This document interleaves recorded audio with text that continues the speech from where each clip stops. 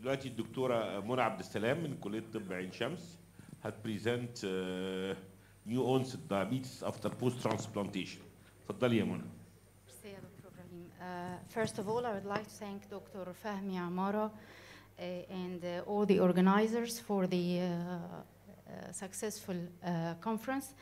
Uh, and I have the honor الحقيقة إن أنا أشارك حضراتكم النهارده بعض ال data about the post transplantational diabetes لأن إحنا recently الحقيقة ممكن كلنا نصادف في ال clinical practice بتاعنا patient جاي عامل transplantation. ال most common طبعا بيبقى عندنا هنا في مصر ال liver وال renal transplantation. الحقيقة المحاضرة في البداية كانت آم، آه، لدكتور محمد رضا بس هو اعتذر. هنبدا بكيس برزنتيشن لمسز ام ال is a 53 years old woman she was referred by the transplant team for diabetes evaluation She was diagnosed in her early 30s with polycystic kidney disease. Her kidney functions continued to deteriorate. Her family history was positive for type 2 diabetes, and her father died as the result of renal failure in his late 50s due to polycystic kidney disease. After years of uh, undergoing dialysis, she's on routine immunosuppressive plan that includes taking steroids and tacrolimus. On examination, she's overweight. Her pulse was 84 beat per minute. Her blood pressure was 148 over 92 millimeter mercury. The rest of the physical examination was unremarkable except for scar of previous operation. Laboratory results show uh, prior to her endocrinological appointment, her blood glucose level was 142 milligram per deciliter. On reviewing previous laboratory data, her fasting blood glucose was in the range of 104 to 107 milligram per deciliter before the transplantation and continued to increase over time. Four months prior to the visit, one of her non-fasting random levels was 2.5. ال- المحاضرة الحقيقة we have to discuss or to come out with the following. What are the most probable diagnoses for this lady? What are the clinical significance? Is there any risk factors in the history we have shared? And what is the plan of management? الحقيقة لما بنراجع في الليتريتشرز السيتويشنز اللي زي كده بنلاقي ان احنا عندنا two terminology post transplantation diabetes و new onset diabetes after transplantation قصة الديفينيشن والترمينولوجي دي كان عليها ديبيت فترة طويلة جدا ما, ما قبل 2003 وما بعد 2003 على مدار 50 years which is not a short duration. قبل 2003 كانوا دايما بيستخدموا الترم post transplantational diabetes mellitus وده إلى حد كبير كان clinical definition بيعتمد إن those patients who develop diabetes كانوا بيحتاجوا insulin replacement therapy at least for 30 days. Maybe more لكن ومن هنا جابوا الترم بتاع post transplantation diabetes بعد 2003 لما بدا يبقى في guidelines و consensus for the treatment of diabetes in these transplant patient حطوا الترم of new onset diabetes after transplantation والترم ده كان محطوط في الاساس في الاساس عشان to reflect the pathophysiological changes or consequences of transplantation الترانسبلانتيشن بالفولو اب تريتمنت بتاعه بيؤدي إلى disturbance in the glycemic metabolism in a patient who is not known to be diabetic before the transplantation. And the term post-transplantational diabetes was preserved to those patients who have persistent hyperglycemia. persistent hyperglycemia هل ده معناه ان أنا ممكن اصادف أو اقابل في الفترة دي transient hyperglycemia أيوه في ترم اسمه transient hyperglycemia أو hyperglycemia in the early post transplant patient ودي اتشافت في 90% من البيشنت اللي هم عملوا كدني transplantation وكان most probably بيبقى نتيجة ال use of steroids أو ال infection أو ال associated clinical critical condition. ده معناه إن أنا لو حبيت أعمل آه، diagnosis for a patient with post transplantational diabetes لازم آخد بالي من الفترة الزمنية اللي أنا شفت فيها هذا الشخص. في الفترة اللي هي من 0 to 7 و up to 45 days لازم أحط في دماغي قصة ال ال transient hyperglycemia اللي هي ممكن تحصل نتيجة ال stress بتاع ال operation وال pain وال infection وخلافه. ودي قد تكون. قد تكون transient في الفترة من 45 ولغاية نهاية السنة الأولى هنا لازم أستخدم ال oral glucose tolerance test في ال diagnosis أو ال fasting random blood sugar could be used مش هقدر أعتمد على ال hemoglobin A1C خالص في الفترة دي زي ما هنشوف مع حضراتكم. بعد سنة قدامي بقى all the tools. أستخدم ال fasting أستخدم ال oral ال oral glucose tolerance test وممكن أقدر أعتمد على ال hemoglobin A1C طبعا لما هستخدم الأرقام اللي هشخص بيها ال diabetes هي الارقام اللي حضراتكم كلها عارفينها according لل ADA fasting blood sugar more than 126 random blood glucose more than 200 oral glucose tolerance test more than 200 و glycated more than 6.5 ليه ما بعتمدش على ال glycated hemoglobin طبعا معظم الناس دول اللي هم آه عاملين transplantation سواء بقى حتى عندنا في مصر هنا liver أو kidney هنلاقي إن ال glycated hemoglobin A1C أنا ما أقدرش أعتمد عليه قوي للأسباب اللي قدام حضراتكم دي. Those patients ممكن يبقى عندهم iron deficiency وده expected سواء العيان liver transplant أو عيان kidney transplant. ممكن يبقى عندهم iron uh, blood loss during the operation immunosuppressive drugs. ممكن يكون في graft rejection. ممكن يكونوا كانوا بيستخدموا erythropoietin ووقفوه في ال before the operation. وبالتالي ال hemoglobin A1C will not be accurate. أنا أقدر أعتمد عليه in general لكن في ال post transplant patients ما أقدرش أعتمد عليه في أول سنة بعد ال transplantation أو بعد ال operation يبقى إحنا كده عرفنا إيه هو إيه هو ال post transplantational diabetes وال new onset type new onset diabetes after transplantation هل الموضوع ده common هل بيتشاف؟ وهل هو low risk الحقيقة هو common ال ratio تقريبا 10 to 40% وال percent دي بتفرق على حسب ال transplant operation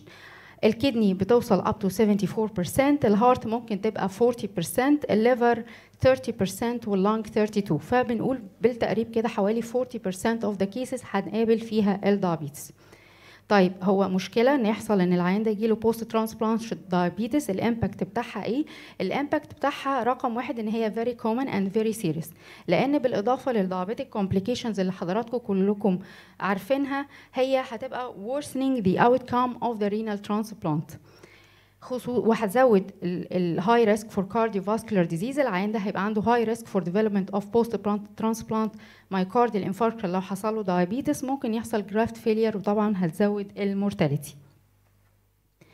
في risk factor لو أنا بشوف ال patient ده قبل trans قبل ال transplantation لو أنا بقى عايزة أبدأ prophylactic إحنا إحنا في era بنتكلم فيه على ال secondary prevention prevention هل لو أنا لقيت risk factors في هذا الشخص ممكن أقول إن هو he is liable إن هو to develop new onset diabetes after transplantation طبعا في risk factor في ال classic risk factors اللي حضراتكم كلكم عارفينها بتاعت ال type 2 الاوبيزيتي الفاميلي هيستوري الميتابول البريزنس اوف كرايتيريا بتاعت ال metabolic syndrome ممكن طبعا يبقى في حاجات تانية. ال immunosuppressive therapy اللي الشخص ده هيستخدمه في ال post operative period وال corticosteroids و presence of inflammation زي ال hepatitis C virus وال cytomegalo وال HLA typing وال acute failure اللي ممكن يحصل في ال graft post operative دي كلها risk factors بالإضافة ل other conditions زي ال polycystic kidney disease the risk factor ال cystic fibrosis و some disorders زي ال hypovitaminosis وال hypomagnesemia اللي ممكن تبقى associated with the use of immunosuppressive therapy. طيب إزاي ال immunosuppressive therapy ليها diabetogenic effects ال class المعروفة أو اللي هي common إحنا بنشوفها في ال clinical practice اللي هي ال calcineurin inhibitors اللي هي زي ال tacrolimus وال cyclosporine يمكن دي أكتر medications إحنا بنقابلها كده وإحنا بنقرأ روشتات العيانين دول. بيشتغلوا عن طريق إن هم بيقللوا ال insulin secretion وبيقللوا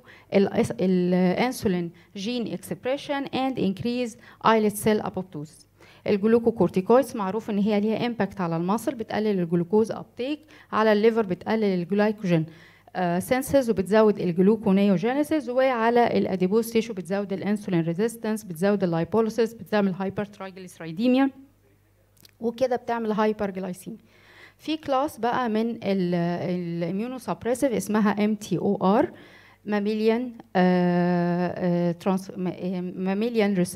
mammalian receptor بتشتغل على حاجة اسمها mammalian receptor blockers وهي ال mammalian receptors دي بيشتغل عليها نوع من أنواع ال immunosuppressive medication بتقلل في النهاية ال angiogenesis وال cell growth ال group من ال inhibitors دي الحقيقة بتعمل ال two effects بتاع ال glucocorticoids وال calcineurin. طيب هل أنا ممكن أغير ال immunosuppressive عشان هو عمل لي diabetes الحقيقة لا. دايما الأولوية وال priority في الاختيار هي لل immunosuppressive medication لو ال immunosuppressive medication ده هو اللي أنا محتاجاه for this patient I will adjust my diabetes. مفيش أي guidelines ولا consensus بيقول إن أنا هستخدم أو هغير ال immunosuppressive لأن هو كان سبب في ال development of diabetes. ال priority دايما في اختيار ال immunosuppressive drug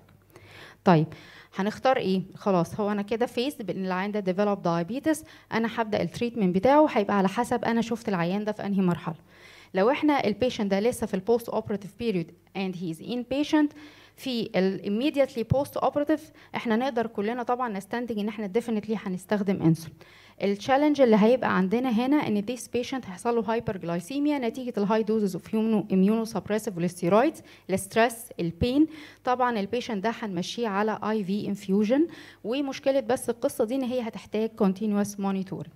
طيب خرجنا من قصة ال ICU بدأ ال patient ده still في المستشفى في الأسابيع الأولى. ال challenge اللي بدأ يبقى قدامنا هنا إن إحنا العيان ده هيبدأ ياكل هيبقى فيه nutritional intake هيبقى فيه steroid dose هيبدأوا يقللوها ويدخلوا ال immunosuppression ولو هو عامل kidney transplant ال kidney function ممكن تتحسن وبالتالي هنا ال lines of treatment هتبدأ تتغير. ممكن أبدأ أقلب إلى ال subcutaneous insulin هشوف ال requirements اللي خدها على مدار 24 ساعة في الفترة الأخيرة وأبدأ أديها على مدار اليوم as correction doses وا monitor ال patient every four times. مشكلتها برضو أو ال challenge اللي هنا هيبقى ال monitoring. طيب بعد كده لو ال patient ده developed في ال post operative period rejection acute rejection هنا هنضطر تاني نرجع لل intravenous infusion وال pumps ال patient بقى لو بدأ يمشي على TPN أو enteral feeding مشكلة الحاجات دي تحديدا إن هي بتعمل severe hyperglycemia إحنا هنا قدامنا حاجة من اتنين يا إما إن أنا أ consider إن أنا أدي basal insulin مع ال IV أو لو القصة فيها hyperglycemia severe ه consider تاني إن أنا أرجعه على ال IV. وفي في بعض المدارس بيحقنوا الإنسولين أو بيحطوا insulin dose على ال TPN ده according طبعا لل insulin to carb ratio اللي موجودة في ال component. طيب ال patient ده الحمد لله عدى ال post operative period وبقى outpatient clinic هختار له إيه من الأدوية ك oral medication طبعا هو لو احتاج انسولين دي خلاص ما فيش مشكلة إحنا بنتكلم دلوقتي أختار إيه من ال oral hypoglycemic medication ال metformin طبعا بيأتي على رأس القائمة في ال guidelines في مشكلة مع الميتفورمين الحقيقة في ال trials اللي اتعملت على استخدام الميتفورمين في ال transplant patients ما كانش فيه كان effective وكان stable وال contraindication بتاعته هي نفسها ال contraindications بتاعت ال metformin in general إن أنا ما استخدموش with low GFR وإحنا طبعا سمعنا الأرقام في النهارده. و أو يكون العيان ده عنده elevated liver function test congestive heart failure مثلا أو في significant infection أو أنا هعمل العيان ده أي radiological images فهوقف ال metformin ال classic اللي إحنا عارفينه على الميتفورمين بلا اختلاف. السلفونايل يوريا ممكن أستخدمها؟ ممكن نستخدمها. مشكلتها إيه؟ نفس الكلام اللي إحنا عارفينه ال hypoglycemia ما نستخدم لا هي هتزود ال incidence في hypoglycemia وبالتالي لازم آخد بالي من ال GFR بتاع العيان ده. ال trials الحقيقة برضو اللي معمولة على استخدام السلفونايل يوريا في عيانين ال post transplant لسه limited in number ال repaglinide هيعمل less risk of hypoglycemia بس معروف طبعا إن هو مش هقدر أستخدمه as single agent in the management of diabetes. ال TZDs very effective و safe لكن هي برضو carry the same risk بتاعة ال TZDs ممكن تعمل lower limb edema ممكن تعمل hypertension إن أنا أستخدمها في عيان طبعا بره عندهم ال cardiac وال lung transplantation لازم يستخدم with caution وما عندهمش trial إذا كان ممكن يعمل heart failure في الحالات دي ولا لأ. هي the same precautions بتاعة ال TZDs طيب ال alpha glucosidase inhibitor برضو ح